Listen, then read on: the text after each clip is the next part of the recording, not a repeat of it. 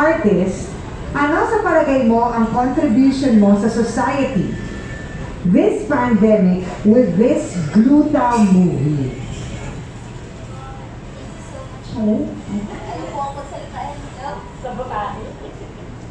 Richard? Ha? Dapat may uh, chopsticks.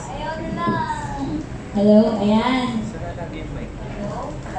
Ay, parang Gamitin mo lang yung isa. Ayaw.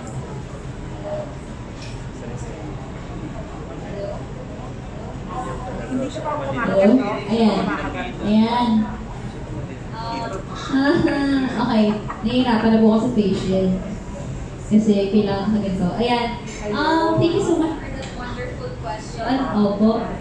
My contribution as an artist, siguro po kasi since marami kaming followers, is to influence good to the people. Kaya siguro tinawag na ng influencers yung mga uh, maraming followers sa sa social media is to influence people uh, good things. Sana always good things. And through this film, gusto ko rin um, maabot sa mga tao yung message ng pelikula to na mahalin yung sarili nila, huwag tayo mag-bully, um, mahalin natin yung mga tao sa paligid natin, at na kahit na kung sino ka man, kahit na hindi ka accepted ng society, as long as accepted mo yung sarili mo, kaya mong abutin yung pangarap mo.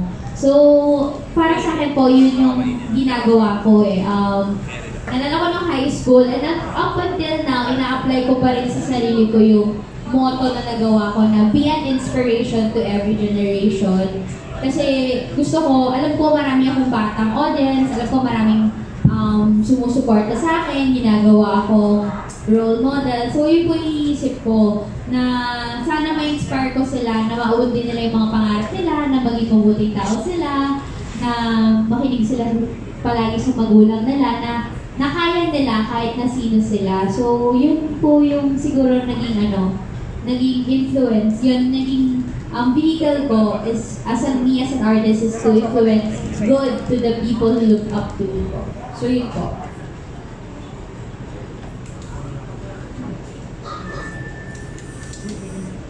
Um, ako naman po for this movie, um, actually nung na nabasa ko yung movie and napanood ko siya, ang lakas po talaga ng, ng energy na tong movie na to na iparamdam sa, sa, sa ating lahat na kailangan tanggapin natin yung sarili natin, na kailangan mahalin natin yung sarili natin. Alam ko, mahirap yung gawin. Isa yun sa mahirap na mahirap kasi mahilig na tayo mag-compare.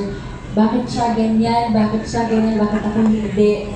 Pero alam ko, darating tayo sa moment na yun, isang araw na matatanggap natin yung sarili natin. And itong movie na to, I'm sure sobrang lakas talaga. Sobrang, nung napanood ko yung, yung trailer, talagang naisip ko na meron pa akong, ang dami ko pang dapat mahalin sa sarili ko na hindi ko nakikita hindi ko nararamdaman na baka one day mas makilala ko din yung sarili ko dahil minahal ko na siya.